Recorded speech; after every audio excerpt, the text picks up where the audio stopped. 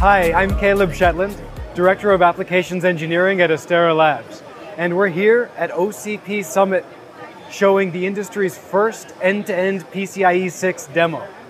featuring the Scorpio Fabric Switch, which at this moment is linked up live at PCIe Gen 6 64 gig with this piece of equipment, which is a Gen 6 exerciser from Keysight.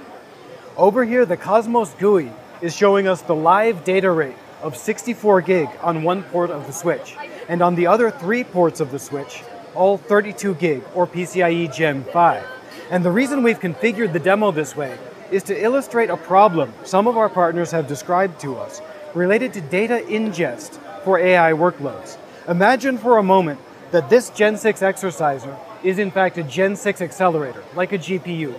and we want to bring in data over the network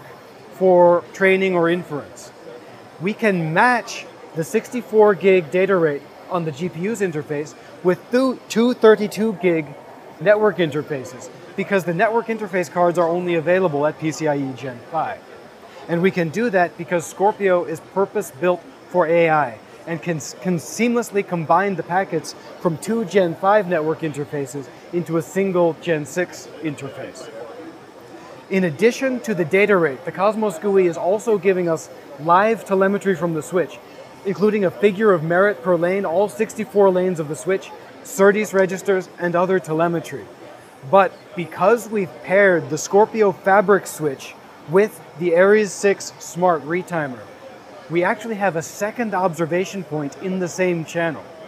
So the retimer is also giving us telemetry, such as receiver adaptation parameters, other SerDes registers, and a real-time bit error rate estimate per lane.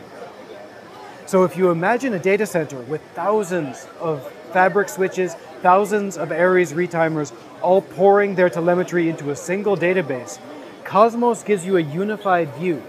so that you can identify problems and take action to resolve them before they impact system uptime.